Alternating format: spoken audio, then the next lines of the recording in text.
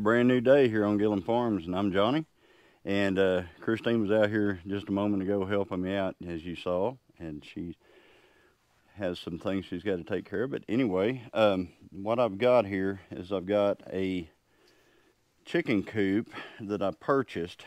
Um, they sell these in, in town near where we live, and it is a, um, well, it's got a very heavy duty screen door on it. Very heavy. I mean, that thing, if you let it go, that's like a bear trap. And then inside, it has nesting boxes built in, but what usually happens is I change the nesting boxes out for a different nesting box. And it has a roosting bar here, and then it has a little bar for them to jump up on to get in there. And what I'm going to be using this for right at this moment, what I'm going to be using this one for right at this moment is uh, we have our meat chickens, which are ranger chickens in here. And you can see those, those are the great big chickens back there eating out of the feeder. And they are ready for freezer camp, basically. And they're in here with our Rhode Island Reds, and uh, they're pretty much they terrorize our Rhode Island Reds. So, so what I'm going to do is I'm going to take all of the meat chickens out and I'm going to put them in there for now until we can hopefully butcher them this weekend. And that'll help us because we won't be able, we won't, uh, we won't actually, you know, we have to go 24 hours without feed before we butcher them. So we'll be able to not feed them and uh, get them ready to butcher. And then what I'm going to do is I've got some Buff Orpingtons and things like that in the little bitty coop. And I'm going to transfer them into the big coop with these chickens. So that is the plan. So anyway, um, I've, all I've got to do is I've got I've just got a there's a board that I've got to screw on right there because the way this thing is sitting, this ground is very unlevel back here way this is setting, I'm going to screw that down to keep anything from getting under a, a, little gap that it's got right there. It's pretty much good the rest of the way around uh, for now. And eventually, this whole thing will end up just like this over here. Because this is another one of those exact same buildings that I we purchased and I just built a frame under it, a platform, and set it on that, built external nesting boxes and all that stuff. So, yep, I'm going to build, it's going to be just like this, only it's going to be right where it's at, and the run is going to go, the run is going to go on over here like this. So there's going to be a, a run run into it right over here and the nesting boxes will be on the other end of it. So, yep, that's the plan. And we'll put a, we'll have another one of those uh, automatic doors, the run chicken doors, right here. So they'll be able to come in and out. So this run will be like an L. And that little chicken coop right there, we'll we'll move it, and it'll it'll end up being a it'll end up being in a different spot. Uh, we just use it like as a brooder and stuff like that, or if we need to isolate something. So anyway, that is the plan on this. But the main thing was I had to get the trailer freed up because I've got something I've got to go do. I've got to I've got to take the tractor over to the other property and do some work. So anyway, I think I'm going to get started on that.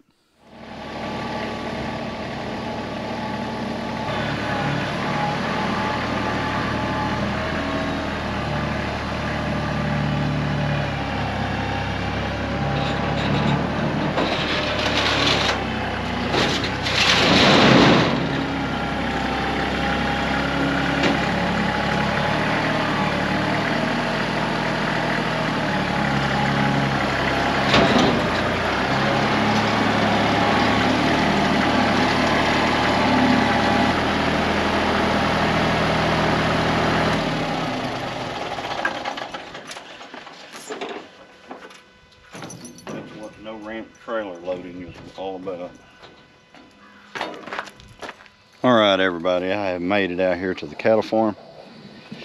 I've got the Kubota and I'm getting ready to jump it off here and hook it to what's left of our pretty poor condition old brush hog that we've got here. And uh, got some work to do on this place. So let's get started doing that.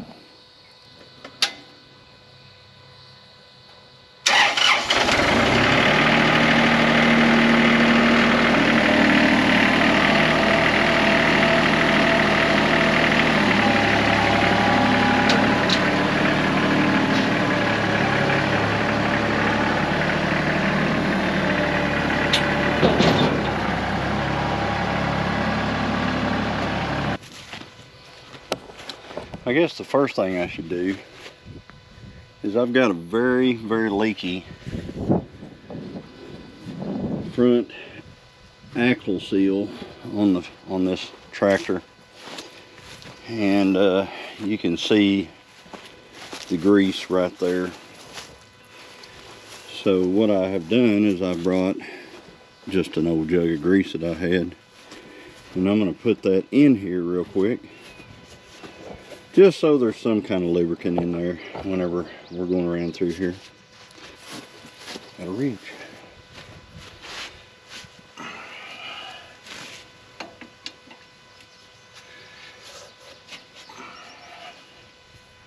Not too bad.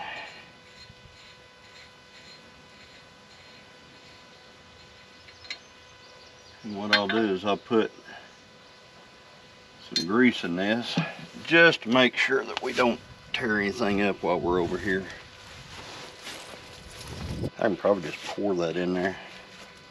That's a pretty big hole.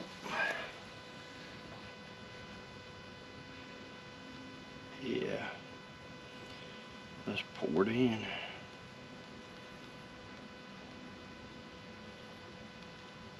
That's not a really heavy grease. It's it's an 80 90 and it probably needs a 9140 but I don't have any of that any of that so and I wasn't going to go buy any so.